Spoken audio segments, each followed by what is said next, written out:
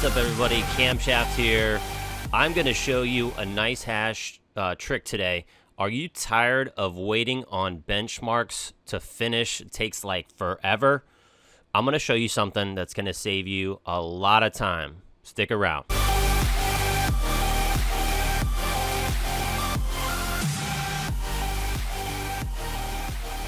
All right, y'all, welcome back. So as you can see, our benchmarks are all done. So we're to click OK. Um, now, one thing to note, as you can see, I did the 580s already in this rig, um, is that this one uh, just finished. So I have two 480s. So this is the one I'm be copping into.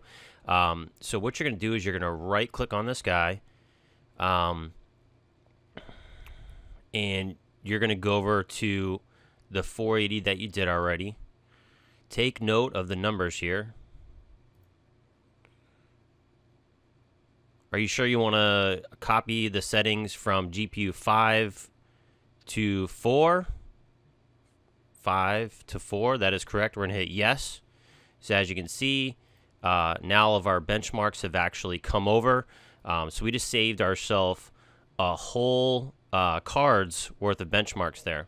Um, so that's your quick tip today on how to save a lot of time on uh, your benchmarking with NiceHash. I'll catch you guys on the next video. I will be doing more quick tips. Um, so like, click, subscribe, and I'll see you all later.